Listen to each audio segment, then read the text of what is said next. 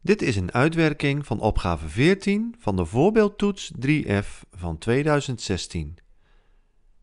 Wil je de opgave eerst zelf maken? Zet dan de film stil om de opgave te maken en kijk daarna verder. De vraag is hier hoeveel vierkante centimeter is 31 vierkante millimeter. We kennen allemaal het metrieke stelsel waarbij we van millimeter naar centimeter moeten delen door 10. Als het gaat om oppervlakte hebben we hetzelfde metrieke stelsel, maar moeten we delen door 10 keer 10, dus door 100. We moeten van vierkante millimeter naar vierkante centimeter, dus delen door 100. 31 gedeeld door 100 is 0,31 en dat vullen we in.